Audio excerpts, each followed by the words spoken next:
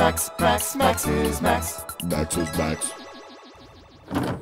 Hi, uh, I'm Max, and this is uh, Max's Macs tips and hat tricks for helping you figure out not be scared of your tech anymore. So the first um, cool technology that I'm going to show you about Max is Mail. It's a good email app for emailing if you get a lot of emails like me.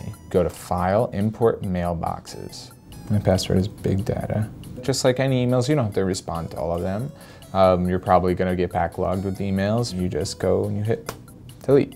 And that's the great thing about Macs. Another um, cool feature on your Macs is your desktop picture. It's like a digital friend that you have. So you want to find someone who's family friendly, you want to find someone who a lot of people like and who you like to look at. I like to do tile a lot because it's just more of what you like to see. Another really cool feature is FaceTime. You call people, but it's your uh, with the video. My other MacBook here um, uh, also open to FaceTime. And it's not difficult, so don't freak out.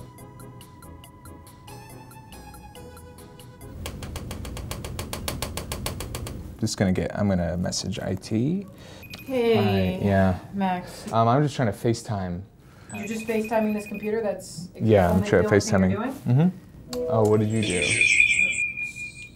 Just press the green button. Okay. Uh, I, I didn't consent to this video. This has been Max's Macs, um, and I'm Max Knoblauch. Sound off in the comments about what you'd like to learn in future episodes. So, um, Max, Max, Max is Max. Max is Max.